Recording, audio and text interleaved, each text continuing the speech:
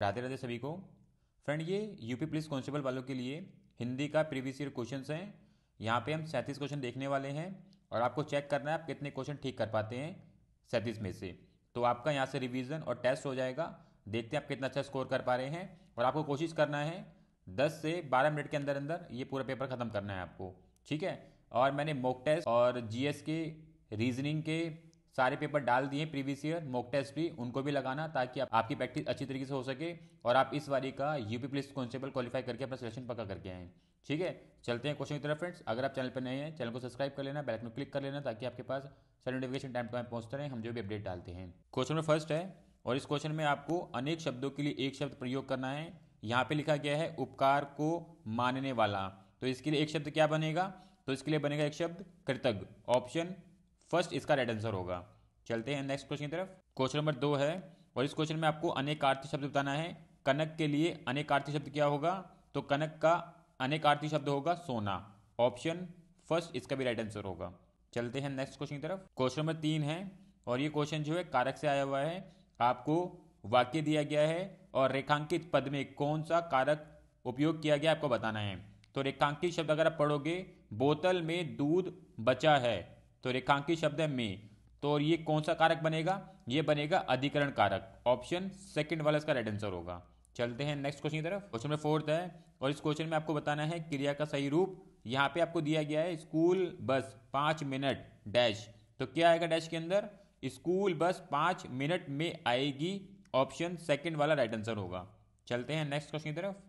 Question number पाँच है। और इस क्वेश्चन में आपको क्रिया का भेद पहचानना है। रवि दीवार रंगने लगा है। इस वाक्य में कौन सी क्रिया यूज़ की गई है? तो इस वाक्य के अंदर संयुक्त क्रिया यूज़ की गई है। ऑप्शन फोर्थ वाला इसका राइट आंसर होगा। चलते हैं नेक्स्ट क्वेश्चन की तरफ़। क्वेश्चन नंबर छह है और इस क्वेश्चन में आपको स्त्रीलिंग बताना है हंस का। तो हंस का स्त्रीलिंग होता है हंसनी। ऑप्शन फ़र्स्ट वाला राइट आंसर होगा। बस आपको इसके अंदर वर्तनी का ध्यान रखना है। कहाँ पे अन की बिंदु, छोटी की मात्रा आएगी, उसका ध्यान रख के आपको आंसर करना है इसमें। ठीक है? चलते हैं नेक्स्ट क्वेश्चन की तरफ़। क्वेश्चन नंबर सेवंथ है। और इस क्वेश्चन में भी आपको स्त्रीलिंग बताना है कुम्हार का। तो कुमार का स्त्रीलिंग होता है कुमारीन ऑप्शन सेकंड वाला इसका राइट आंसर होगा। चलते हैं नेक्स्ट क्वेश्चन की तरफ़। क्वेश्चन नंबर आठ है और इस क्वेश्चन में आपको बहुवचन बताना है चुटिया का। तो चुटिया का बहुवचन होता है चुटिया। ऑप्शन फ़र्स्ट वाला राइट आंसर होगा। चलते हैं नेक्स्ट क्वेश्चन की तरफ़। क्वेश्चन नंबर नौ है। इंपॉर्टेंट क्वेश्चन है। ये क्वेश्चन जो है वर्ण विच्छेद से आया है। आपको ध्यानपूर्वक कृपाण में किस प्रकार का वर्ण विच्छेद होगा वो बताना है। तो इसका जो राइट आंसर बनेगा वो है ऑप्शन फोर्थ वाला। इस प्रकार से वर्ण विच्छेद होगा, आपको ध्यान रखना है। संधि विच्छेद से भी क्वेश्चन आएँगे, वर्ण विच्छेद से भी आएँगे तो आपको दोनों को ध्यानपूर्वक करना है। ठीक है? चलते हैं नेक्स्ट क्वेश्चन की तरफ़।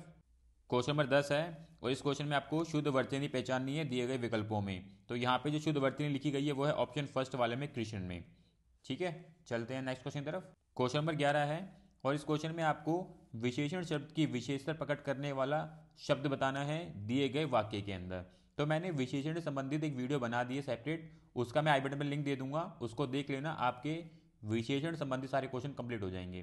ठीक है? यहाँ पे वाक्य क्या लिखा गया है? इस पर्वतमाला में बहुत ऊँचे ऊँचे पहाड़ हैं।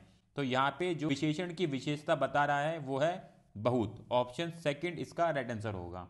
चलते हैं नेक्स्ट क्वेश्चन की तरफ़। क्वेश्चन में बारह है और इस क्वेश्चन में आपको सही विकल्प चुनना है दिए गए वाक्य के लिए। और वाक्य क्या है? सर्वनाम का शाब्दिक अर्थ क्या होता है? तो सर्वनाम का शाब्दिक अर्थ होता है सबका नाम। ऑप्शन फ़र्स्ट वाला राइट आंसर होगा। चलते हैं नेक्स्ट क्वेश्चन की तरफ़। क्वेश्चन नंबर तेरह है और आपको बताना है गजानंद माधव मुक्ति बोध जी द्वारा रचित रचना नहीं है तो इनके द्वारा जो रचित रचना नहीं है, वो है अंधा युग। ऑप्शन फ़र्स्ट वाला राइट आंसर होगा। चलते हैं नेक्स्ट क्वेश्चन की तरफ़। क्वेश्चन नंबर चौदह है और आपको बताना है, पृथ्वीराज रासो किस लेख की रचना है? तो पृथ्वीराज रासो चंद्रदाई लेख की रचना है ऑप्शन फ़र्स्ट वाला राइट आंसर होगा। क्वेश्चन नंबर पंद्रह है, और आपको बताना है, सत्यार्थ प्रकाश उपन्यास के लेखक का नाम क्या है? तो सत्यार्थ प्रकाश उपन्यास के लेखक का नाम है दयानंद सरस्वती। ऑप्शन फ़र्स्ट वाला इसका भी राइट आंसर होगा। क्वेश्चन नंबर सोलह है इंपॉर्टेंट क्वेश्चन है। हिंदी साहित्य अकादमी की ओर से हर वर्ष शलाका सम्मान पुरस्कार किस क्षेत्र में दिया जाता है? ये सम्मान जो है, हिंदी को नई दिशा प्रदान करने के लिए दिया जाता है। ऑप्शन फोर्थ, इसका राइट आंसर होगा। चलते हैं नेक्स्ट क्वेश्चन तरफ़। क्वेश्चन नंबर सत्रह है, और यहाँ पे आपको गद्यांश दिया गया है। इस गद्यांश को आपको ध्यानपूर्वक पढ़ना है, और इसके आधार पर आपसे पाँच प्रश्न पूछे जाएँगे, उनका आंसर देना है।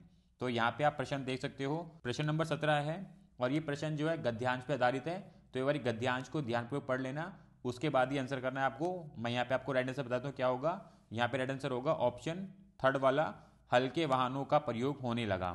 क्वेश्चन अठारह है और इसका राइट आंसर है ऑप्शन फ़र्स्ट वाला, आपको ध्यानपूर्वक गद्यांश पढ़ने हैं और उन्हीं के आधार पर ही आंसर करना है। ठीक है? नेक्स्ट क्वेश्चन देख लेते हैं। क्वेश्चन नंबर उन्नीस है और इसका राइट आंसर है ऑप्शन फ़र्स्ट वाला, भारी और बड़ा वाहन। क्वेश्चन नंबर बीस है और इसका राइट आंसर है ऑप्शन फ़र्स्ट वाला चार। क्वेश्चन नंबर इक्कीस है और इसका राइट आंसर है ऑप्शन थर्ड आर्थिक स्थिति।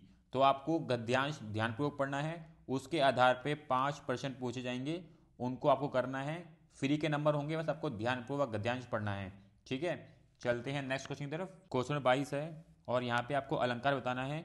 इस पद्य के अंदर कौन सा अलंकार यूज़ किया गया है? पद्य क्या है? रघुपति राघव, राजा राम। तो इसके अंदर अनुप्रास अलंकार यूज़ किया गया है। ऑप्शन फ़र्स्ट वाला राइट आंसर होगा।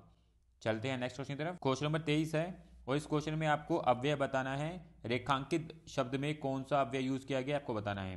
तो वाक्य क्या है? सीता के आगे रमा खड़ी है और रेखांकित शब्द है के आगे। तो इसके अंदर जो अव्यय यूज़ किया गया वो है संबंध बोधक अव्यय। ऑप्शन सेकंड इसका राइट आंसर होगा। चलते हैं नेक्स्ट क्वेश्चन की तरफ़। क्वेश्चन नंबर चौबीस है और इस क्वेश्चन में आपको अशुद्ध वाक्य का शुद्ध रूप बताना है। यहाँ पे एक वाक्य लिखा गया है, घूमना सुबह अच्छा है। तो इसके लिए शुद्ध वाक्य क्या होगा? सुबह घूमना अच्छा है ऑप्शन फोर्थ वाला राइट आंसर होगा। चलते हैं नेक्स्ट क्वेश्चन की तरफ़। क्वेश्चन नंबर पच्चीस है। इंपॉर्टेंट क्वेश्चन मार्क कर लेना। आपको बताना है, छंद के प्रत्येक चरण में कितनी मात्राएँ हैं? यहाँ पे एक छंद लिखा गया है और आपको बताना है, इसके प्रत्येक चरण में कितनी मात्राएँ हैं, वो आपको बताना है। तो इसका राइट आंसर क्या है? ऑप्शन फ़र्स्ट वाला है, पंद्रह से तेरह के क्रम में अट्ठाईस। ऑप्शन फ़र्स्ट इसका राइट आंसर होगा। इंपॉर्टेंट है, आपको ध्यान रखना ये भी। चलते हैं नेक्स्ट क्वेश्चन की तरफ़। क्वेश्चन नंबर छब्बीस है और इस क्वेश्चन में आपको मुहावरे का सही अर्थ बताना है। अंक भरना। इस मुहावरे का क्या अर्थ होगा? गले लगाना। ऑप्शन सेकंड इसका राइट आंसर होगा। चलते हैं नेक्स्ट क्वेश्चन की तरफ़। क्वेश्चन नंबर सत्ताईस है और इस क्वेश्चन में आपको बताना है, संयोग और वियोग किस रस के रूप हैं? संयोग और वियोग जो है, श्रृंगार रस के रूप हैं। ऑप्शन थर्ड वाला इसका राइट आंसर होगा। चलते हैं नेक्स्ट क्वेश्चन की तरफ़। क्वेश्चन नंबर अट्ठाईस है और इस क्वेश्चन में आपको एक वाक्य दिया गया है इसका क्रम वाच्य क्या होगा आपको बताना है। वाक्य क्या है? पिताजी पत्र पढ़ रहे हैं। तो इसका क्रम वाच्य क्या होगा? इसका क्रम वाच्य होगा पिताजी के द्वारा पत्र पढ़ा जा रहा है ऑप्शन थर्ड वाला। चलते हैं नेक्स्ट क्वेश्चन की तरफ़। क्वेश्चन नंबर उनतीस है और इस क्वेश्चन में आपको बताना है, योजक चिन्ह का सही उदाहरण कौन सा है? दिए गए विकल्पों में। तो योजक चिन्ह आपको पता होना चाहिए क्या सा होता है। योजक चिन्ह कुछ इस प्रकार से लगता है। अगर आप विकल्प देखोगे पहले वाला और तीसरे वाला, इसके अंदर योजक चिन्ह का उपयोग किया गया है, पर सही तरीके से विकल्प एक के अंदर यूज़ किया गया है, विकल्प तीन में नहीं। तो इस प्रकार इसका आंसर फ़र्स्ट वाला होगा। ठीक है? चलते हैं नेक्स्ट क्वेश्चन तरफ़। क्वेश्चन नंबर तीस है, और इस क्वेश्चन में आपको समास विग्रह करना है सप्त सिंधु का। तो सप्त सिंधु का समास विग्रह होता है सात सिंधुओं का समूह। ऑप्शन थर्ड वाला राइट आंसर होगा। चलते हैं नेक्स्ट क्वेश्चन तरफ़। क्वेश्चन नंबर इकतीस है, और यहाँ पे आपको प्रायवाची शब्द बताना है पत्थर का। तो पत्थर का प्रायवाची शब्द होता है पाषाण। ऑप्शन फ़र्स्ट वाला राइट आंसर होगा। चलते हैं नेक्स्ट क्वेश्चन तरफ़। क्वेश्चन नंबर बत्तीस है और ये क्वेश्चन जो है उपसर्ग से आया हुआ है। आपको यहाँ पे वो वाला विकल्प चयन करना है जो उपसर्ग से नहीं बना है।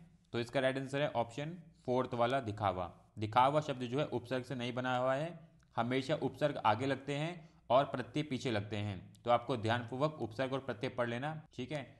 चलते हैं नेक्स्ट क्वेश्चन तरफ़। क्वेश्चन नंबर तैंतीस है, और इस क्वेश्चन में आपको विपरीत अर्थ बताना है स्वार्थ का। तो स्वार्थ का विपरीत अर्थ होता है परमार्थ। ऑप्शन फ़र्स्ट वाला राइट आंसर होगा। चलते हैं नेक्स्ट क्वेश्चन तरफ़। क्वेश्चन नंबर चौंतीस है, और ये क्वेश्चन जो है प्रत्यय से आया हुआ है, आपको बताना है कौन से अवल विकल्प में प्रत्यय का उपयोग किया गया है। तो वो है ऑप्शन थर्ड वाला, जादूगर में प्रत्यय का उपयोग किया गया है। तो आपको उपसर्ग प्रत्यय पढ़ लेना, वहाँ से क्वेश्चन आएँगे। ठीक है, चलते हैं नेक्स्ट क्वेश्चन तरफ़। क्वेश्चन नंबर चौंतीस है और ये क्वेश्चन जो है संधि विच्छेद से आया हुआ है। आपको बताना है अत्यधिक का संधि विच्छेद क्या होगा? तो अत्यधिक का संधि विच्छेद होगा, अति जमा अधिक। ऑप्शन सेकंड इसका राइट आंसर होगा। चलते हैं नेक्स्ट क्वेश्चन तरफ़। क्वेश्चन नंबर छत्तीस है और ये क्वेश्चन जो है समासिक युग्म पद से आया हुआ है। यहाँ पे आपको अचार के लिए सबसे उचित समासिक युग्म पद का चयन करना है। तो इसका राइट आंसर होगा विचार। ऑप्शन सेकंड इसका राइट आंसर होगा। चलते हैं नेक्स्ट क्वेश्चन की तरफ़। क्वेश्चन में सैंतीस है, और इसमें आपको बताना है समान अर्थ, दुविधा के लिए समान अर्थ क्या होगा? तो दुविधा के लिए समान अर्थ होगा धर्म संकट। ऑप्शन फ़र्स्ट वाला इसका राइट आंसर होगा। ठीक है? सो फ्रेंड हमने यहाँ पे सैंतीस क्वेश्चन देख लिए हैं। अब आपको चेक करना है, आपने कितना स्कोर किया है। अगर आप यहाँ पे 25 से 28 स्कोर कर पा रहे हैं तो आप बहुत अच्छा अच्छा स्कोर कर रहे हैं, और आप इसी तरीके से प्रैक्टिस करते रहें। आप डेफिनेटली अपना यूपी पुलिस कॉन्स्टेबल क्वालिफाई कर लेंगे। तो मेहनत करते रहें रिविज़न करते रहें। अब एग्ज़ाम में बहुत ही कम दिन बचे हैं। ठीक है तो प्रैक्टिस जम के करनी है आपको। इसी प्रकार से हम और वीडियो लेके आते रहेंगे, जहाँ पे हम मॉक टेस्ट लगाने वाले हैं, ताकि आपकी प्रिपरेशन बेहतर होती रहे।